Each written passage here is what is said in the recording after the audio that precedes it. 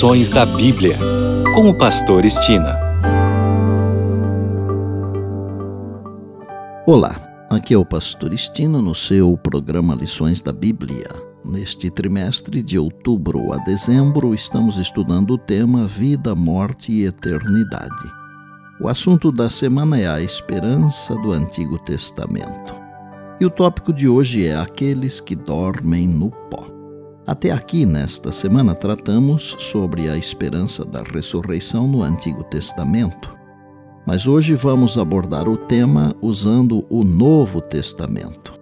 É deveras interessante notar que tanto as pessoas do Antigo Testamento quanto as pessoas do Novo Testamento tinham a mesma esperança que hoje temos na ressurreição final.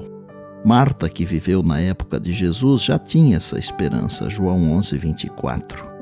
Sem dúvida, mesmo então, os judeus tinham algum conhecimento da ressurreição dos últimos dias, ainda que nem todos acreditassem nela, como é o caso dos saduceus, conforme Atos 23, verso 8. Jesus ressuscitou pelo menos três pessoas: Lázaro, a filha de Jairo e o filho da viúva de Naim. Como a Bíblia diz que nem todos os milagres foram registrados, pode ter havido alguma outra ressurreição, evidentemente. O próprio Jesus ressuscitou e, por ocasião dessa ressurreição, que é a mais importante de todas, porque por ela temos direito de sair da sepultura, muitos santos ressuscitaram juntamente com Jesus e a Bíblia diz que entraram na cidade. Eu disse que a ressurreição de Jesus é a mais importante de todas porque ele venceu a morte. E porque Jesus venceu a morte, um dia ela deixará de existir para sempre. Jesus é o grande príncipe, o Miguel de Daniel 12. E no final da história, Jesus se levantará para defender os filhos de Deus, aqueles cujos nomes estão escritos no livro do céu. O Jesus que venceu a Satanás no deserto, no Getsemane, na cruz e na sepultura, e também em nosso coração, virá para a batalha final e vencerá. A palavra afirma que os mortos em Cristo ressuscitarão primeiro e depois nós, os vivos, seremos transformados. Vou agregar aqui algo que pode parecer novo para um ou outro, mas não é novo, não Falando da ressurreição, devemos pensar não apenas em ressurreições individuais, como as que mencionei antes. Podemos pensar em grupos de ressurreições. As duas mais conhecidas são a ressurreição dos justos e a ressurreição dos ímpios.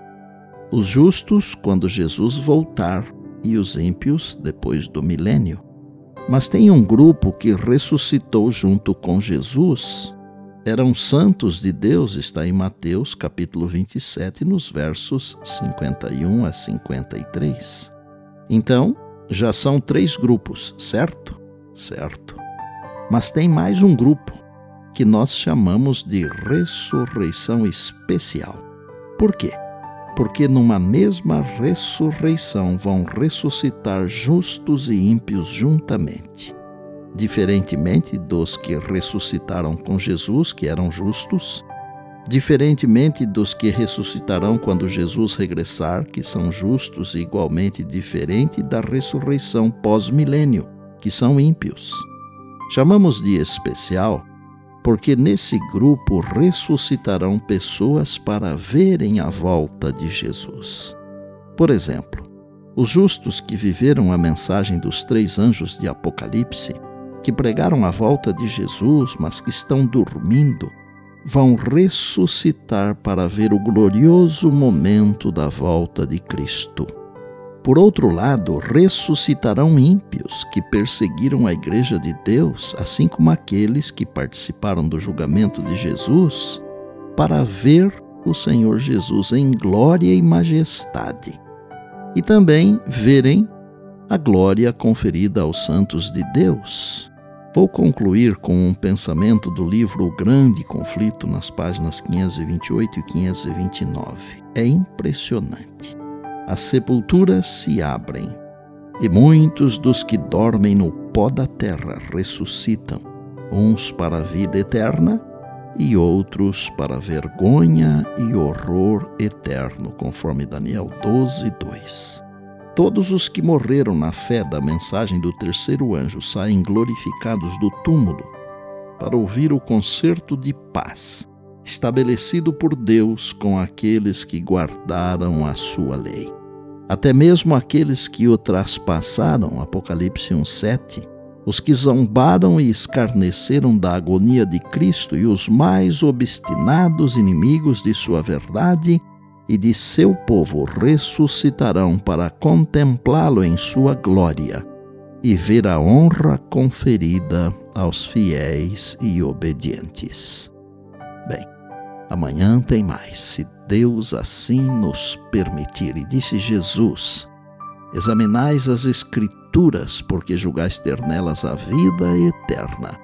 E são elas mesmas que testificam de mim, João 5,39. Eu sou o Pastor Estina e este é o seu programa Lições da Bíblia, diariamente com você, pela graça e misericórdia de Deus.